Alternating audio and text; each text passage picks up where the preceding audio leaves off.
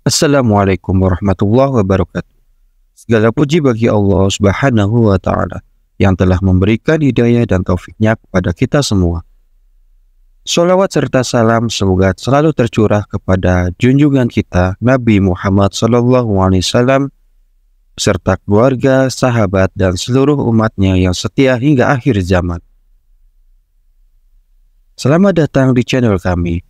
Pada kesempatan kali ini kita akan mendengarkan sebuah kisah inspiratif dari Rotang Jit Muangnon, seorang juara dunia kelas terbang yang memutuskan untuk menjadi mualaf setelah menikah dengan sesama atlet Muay.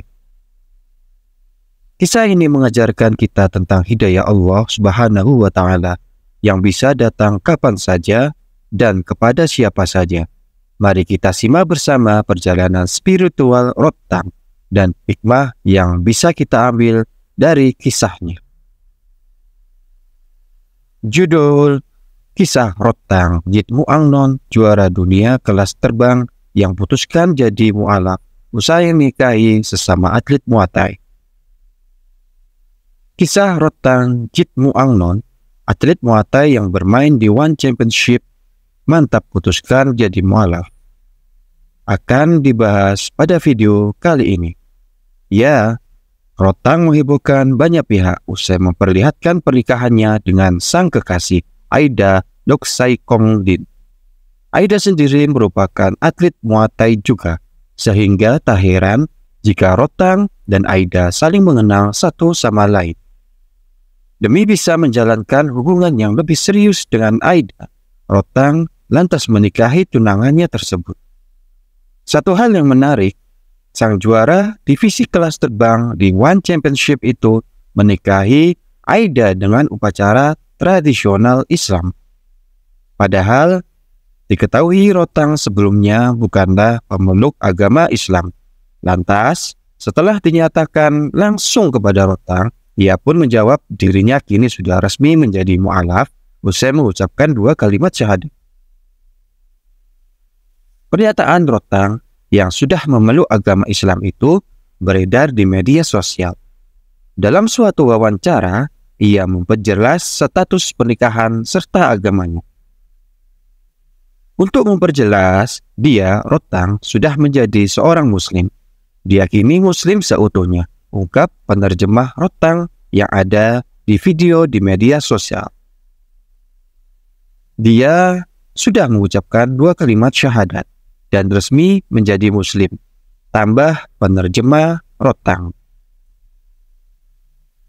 Dalam video yang sama, Rotang juga sempat mengucapkan Alhamdulillah saat menjawab pertanyaan dari netizen.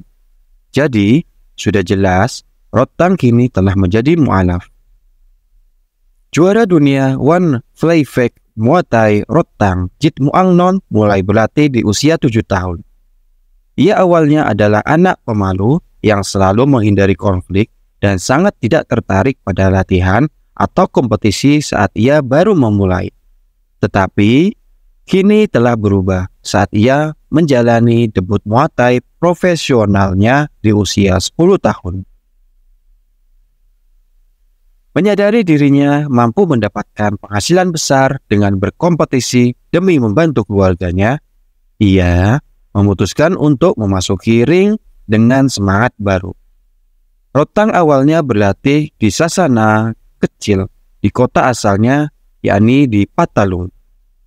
Namun, ia segera pindah ke Jitmu Angnon yang terkenal di Bangkok untuk mengejar pelatihan yang lebih baik. Rotang lalu menetap demi berlatih penuh waktu dan mengejar mimpinya menjadi juara dunia. Rotang meraih kesuksesan luar biasa dengan lebih dari 250 kemenangan saat baru menginjak usia 21 tahun. Rotang bahkan dua kali meraih gelar juara dunia Omnoy Stadium yang prestisius. Tapi Rotang mencapai puncak disiplin striking pada Agustus 2019 saat ia mengalahkan Jonathan Haggerty demi merebut gelar juara dunia One Fly Fake Muay Thai. Demikian kisah mu'alaf dari Rotang.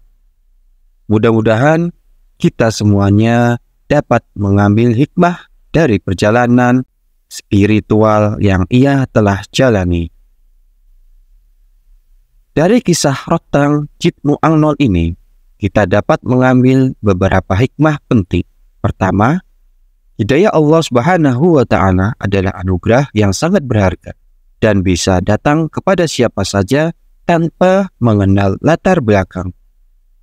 Kedua, pernikahan yang dibangun di atas dasar iman dan takwa akan membawa keberkahan serta kebaikan dalam kehidupan. Yang ketiga, setiap perjalanan menuju hidayah membutuhkan kesungguhan hati dan niat yang tulus. Dengan menjadi mu'alaf, Rotan menunjukkan bahwa iman dan keyakinan bisa mengubah hidup seseorang menjadi lebih baik dan penuh berkah. Allahu a'lam bisawab. Demikianlah kisah inspiratif Rotan Citmu Anglon, juara dunia kelas terbang yang memutuskan menjadi mu'alaf setelah menikah. Semoga kisah ini memberikan inspirasi dan motivasi bagi kita semua untuk selalu mendekatkan diri kepada Allah Subhanahu wa taala dan mencari hidayahnya. Jangan lupa untuk like, share, dan subscribe channel ini agar tidak ketinggalan kisah-kisah inspiratif dan penuh hikmah lainnya. Akhirul kalam, wassalamualaikum warahmatullahi wabarakatuh. Sampai jumpa.